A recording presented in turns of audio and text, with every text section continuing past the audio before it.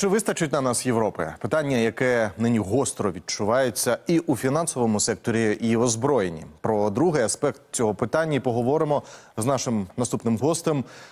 Е, Павло Нарожний, військовий аналітик, зараз доєднується до нашого ефіру. Пане Павле, я вас вітаю. Доброго вечора. Пане Павле, Україна отримала низку значних пакетів військової допомоги від міжнародних партнерів. Як це вплине на ситуацію на фронті? Як вважаєте? Е, Ну, на наступному році ми у нас вже заплановано вже є розуміння, що ми будемо отримувати. Ну, наприклад, мова йде про приблизно 250 тисяч снарядів артилерійських, які ми повинні отримати до березня місяця. Це виключно від е, Європейського союзу. Зараз у нас є нестача цих боєприпасів. Тут, коли ми кажемо 200 тисяч, це мова йде про снаряди 155-го калібра, найбільш е, цікавого, найбільш потужного для нас. Е, Ми повинні протягом цього року отримати чотири системи Петріот. Е, Президент Зеленський вчора у нас сказав, що ми отримали дві яких системи, які можуть збивати все. Ну, з великою вірністю мова йде саме про Петріоти. Ми Зараз незрозуміла ситуація нас з США, але більш ніж впевнений, що США пройде цей етап, і ми також будемо отримувати допомогу від них. Чим нам допоможуть е, артилерійські снаряди? Зараз у нас, по словам Тернавського, це командуючий ЯСУ в Таврія, Ми е, відмовляємося від деяких операцій за нестачі боєприпасів. Якщо у нас снарядів буде достатньо, але 200 тисяч, на жаль, це не та цифра, про яку ми хотіли б говорити. Я хотіли б говорити там про, про мільйон снарядів, який нам потрібен. Це дасть нам можливість на, на е, ну набагато ефективніше стримувати ворога, використовуючи не піхоту, використовуючи артилерію, тобто знищувати всі можливі цілі піхоти, там е, піхоту, бронетехніку і все, все, що е, є на лінії фронту. Якщо ми кажемо про Петріоти, Петріот він нам потрібен просто як е, повітря, це як захист наших міст від постійних ударів ворога, так і збиття. Е, те, що ми бачили, там як е, А-50 був збитий, як декілька Су-34 були збиті на лінії фронту. Ну якоюсь далекобійною ЗРК це було зроблено, але це цілком спроможності е, систем Петріот. У нас в день ворог робить від 50 до 100 е, авіаударів по лінії зіткнення. Мова йде про бомбардування, коли вони скидають плануючі авіабомби. Ми протягом цього року повинні отримати F-16. F-16 – це багатоцільовий літак. Ну він був розроблений як легкий винищувач, але з часом він став багатоцільовим літаком. І його основна задача це відігнати від лінії фронту ворожі е, винищувачі, ворожі бомбардувальники, тобто облегчить життя нашій піхоті, яка знаходиться безпосередньо на першій лінії фронту, по яким, як вже сказав, від 50 до 100 там приблизно в день роблять авіаударів. Е, і все це станеться, я думаю, протягом приблизно першої півріччя 23-24 року. Пане Павле, Володимир Зеленський підкреслив важливість нових типів озброєння для України. І обіцяна партнерами зброя є відповіддю на ці заклики. Як ви вважаєте?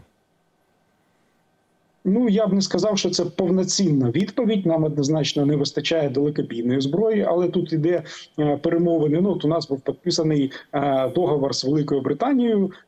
Йде е, розмова про підписання такого договору з Німеччиною з Францією. Франція вже в рамках цієї допомоги вона нам пообіцяла далекобійну зброю. Дуже важливо. Це мова йде про. Не тільки про е, ракети повітря, земля, скальп, але і про е, плануючі бомби з реактивним двигуном з дальністю до 200 кілометрів. Е, Забув, як вони називаються. Там е, молот, да, вони в, в перекладі називаються. Е, Такої зброї нам критично не вистачає для того, щоб знищити логістику ворога глибоко в тилу.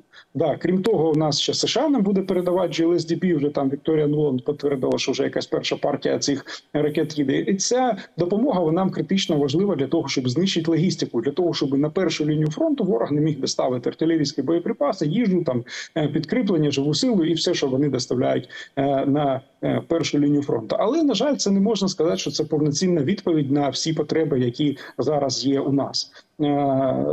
І Зеленський, і Залужний казали про те, що нам треба в армію більшу кількість автоматизації. Тобто мова йде про дрони, про БПЛА, про розвідувальні дрони, про ударні дрони, ті самі FPV, про камікадзе, про бомбардувальники і так далі. Інші засоби автоматизації, яких насправді може бути дуже багато. Мова йде там, ну скажімо, про турелі автоматизовані, і ну такого добра на фронті треба дуже дуже багато різнопланового. Ну тобто мова не йде там про одного виробника чи там про одну якусь конкретну модель. Нам треба засоби РЕП великої кількості. У нас є свої власні українські виробники засобів РЕП, і я більш ніж впевнений, що є а, такі виробники за кордоном. Ну, наприклад, Diehl Defence німецький, який один з світових лідерів Е, такого е, обладнання, і це обладнання нам потрібно знов таки величезної кількості, тому що попередній спікер, е, прес-офіцер 26-ї бригади, казав, що на передньому на лінії зіткнення ворог дуже щільно використовує FPV-дрони. А РЕП це саме захист від цих FPV-дронів, доволі ефективний. І таких систем нам треба дуже багато, як власного виробництва, так і закордонного. А щодо цих от бомб JLSDB, які ви згадали, які нам надають Сполучені Штати. Це новітнє озброєння, і е, вони зможуть не в далекий тил бити. 160 кілометрів це не так далеко, як нам би хотілося. Але це новітнє озброєння. І чи зможуть росіяни його збивати, чи ні? От як ви вважаєте? 150 е, кілометрів, які заявлені в GLSDB, Точно ніхто не знає, бо це е, попередня, скажімо так, інформація виробника. Скільки точно буде тут? Є багато факторів. Ну, наприклад, якщо буде дути попітний попутний вітер, куди він може цю бомбу задути? Ну тут є складне питання. Да? Ну хай буде 150 кілометрів. В наших реаліях, якщо пускова установка знаходиться в Херсоні, це означає те, що вона може наносити удари по Джанкою. Ну тобто, це доволі глибокий тил. Звісно, це не Севастополь, це не аеропорт там Більбека, е, але все одно це дуже далеко і це ефективно ефективно може дасть можливість відрізати лінію логістику на е, в напрямку Мілітополя. Е, якщо ця пускова установка буде знаходитись, ну скажімо, під углідаром, то вона ефективно може наносити удари е, за Маріуполь. Знову таки, це будуть удари в першу чергу по військовим об'єктам та по лініям логістики, які саме там проходять. Якщо ця пускова установка буде знаходитись десь на краю Луганської області, вона за Луганськ зможе заносити удари. Е, але саме головне в цій всій історії це вартість цих снарядів. Вони ну зараз ми стріляємо. Хаймар стріляє ракетами GMRS, яка вартість приблизно 180-200 тисяч доларів за одиницю. А приблизна вартість ракет GLSDB мова йде до 100 тисяч доларів, тобто приблизно в два рази менше. Е, вони набагато менш е, ну не такі складні технологічно. Чи зможе ворог їх збивати? Ну в цьому є в мене дуже серйозні сумніви. Чому так? Тому що е, е, принцип дії такий: це авіаційна бомба, до якої приладнали реактивний двигун. Цей реактивний двигун буде піднімати на висоту більше 20 кілометрів. Ну тобто, це не літак, там у них немає проблеми там з киснем і так далі. І з цієї висоти. Ця бомба буде планувати на такій висоті, щось збить дуже і дуже важко. Швидкість, з якою вона буде планувати, теж доволі висока. Розмір цієї ракети доволі малий. Ну тобто, її в принципі побачити дуже складно. Тому ймовірність того, що будуть е, росіяни мають можливість збивати такі е, плануючі бомби, дуже низька. Ви кажете, що розмір малий, а бойова частина. Яке ураження вона може наносити? Е, бомба SDB, яка є основою цієї цієї системи, вона важить 110 кг. В ній 16 кг вибухівки. Е, але тут е, треба дивитися трішечки з іншого розрізу. Це авіаційна бомба, яка з самого початку була розроблена для пробиття бетону, ну тобто для знищення бетонованих укріплень. Уявимо собі умовний бункер якогось російського генерала, який почуває себе доволі спокійно. Але ця SDB, вона може пробити один метр армованого бетона, який армований сталевими прутками, над яким знаходиться один метр землі. Ну тобто, іншими словами, ну будь-який бункер цією бомбою буде пробити. Якщо не однією бомбою, то двома трьома. Е, тобто, це дуже потужна, дуже серйозна зброя.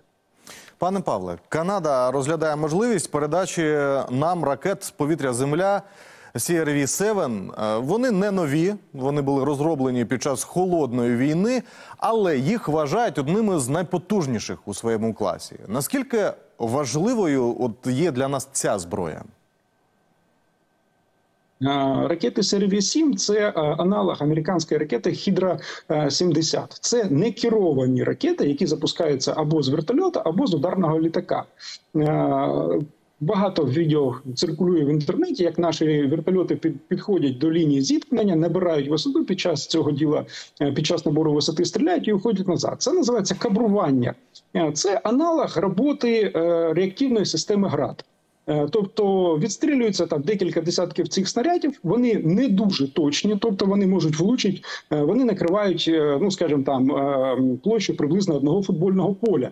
Але коли є скупчення ворога, ну скажімо, піхота йде в атаку, або якісь ворожі укріплення, або ну скажімо там колона техніки йде в атаку, то це дуже буде гарна ціль саме для таких ракет.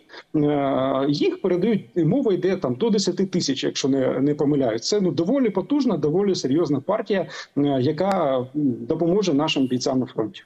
Нідерланди анонсували пакет допомоги на 122 мільйони євро, який включає закупівлю, зокрема, боєприпасів. Чи дозволить це нам е, впоратися з, от, з тою нестачею, про яку і ви нам сказали, і про яку заявляв е, міністр оборони Умєров?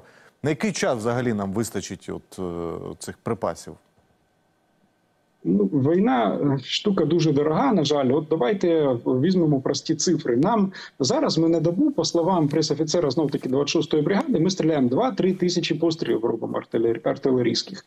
Е, якщо взяти 3 тисячі, е, значить, що за місяць ми стріляємо 90 тисяч снарядів. Ну тобто, ну беремо круглу цифру 100 тисяч. Вартість одного пострілу приблизно 3 тисячі доларів. Це без урахування ще ресурсу ствола і всього іншого. Ну беремо е, 3 тисячі доларів. Тобто 100 тисяч снарядів по 3 тисячі доларів. Це скільки у нас виходить? 300 мільйонів доларів. Правильно, я не, не помилився ніде в калькуляціях. Тобто пакета допомоги на 122 мільйони е, дасть можливість Україні стріляти пів місяця. Дякую вам дуже е, за цю розмову і за цю математику, за те, що ви доєдналися до нашого ефіру. Гарного вам вечора. Я нагадаю, це був Павло Нарожний, військовий аналітик.